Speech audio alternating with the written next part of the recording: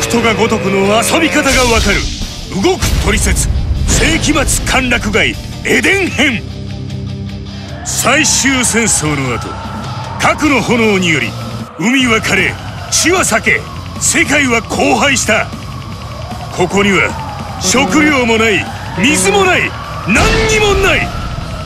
そんな世紀末に水もある電気もある食料も遊びも何でもある奇跡の街。エデンが存在。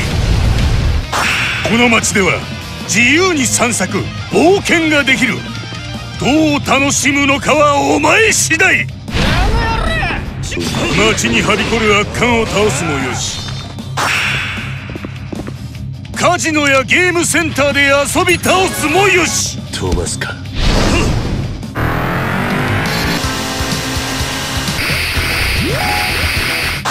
子相伝の暗殺権北斗神拳の伝承者ケンシロウはこの町でも大活躍。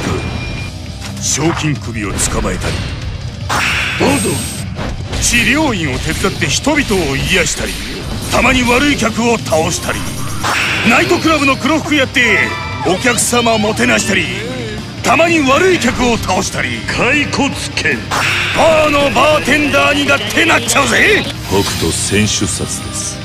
奇跡の街エデン。エデンには人々が望む全てのものがある。その全てを見て遊んで体験せよ。ぐるぐるぐる。世紀末陥落街エデン編。これにて終了北斗が如くの遊び方がわかる。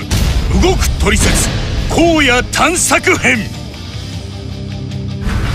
水も食べ物も遊びも何でもある奇跡の街エデン。その街の外に広がる荒野は広い。とにかく広い。ただひたすらに広い。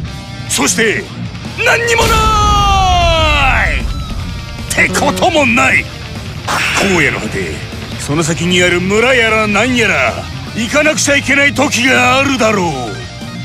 遠くへ行く時はバギーで荒野を爆走。襲い来る敵もいるがこいつらは指先一つでぶちのめそう。荒野を爆走していたら道が塞がっている？通れない？そんな時はバギーをカスタマイズ。塞がる道をぶっ壊し乗り越えてその先を目指せ。荒野にはお宝が眠っていることも宝の地図を手がかりに荒野を探索しよう。おっと一つ忠告。乾ききった荒野でガソリンが尽きればお前の命もそこまでだ。給油はこまめに心がけろ。荒野にはさらなる遊びもある。自慢の愛車でヒャッハーレースに参加しよう。世紀末の爆走野郎どもの祭典だ。迫り来る悪漢どもをドーンと打ち返すデスバッティングなんてのも。過酷な荒野の先にはさまざまなロマンも存在するのだ。さあ荒野の果てまで冒険せよ。荒野探索編。これにて終了。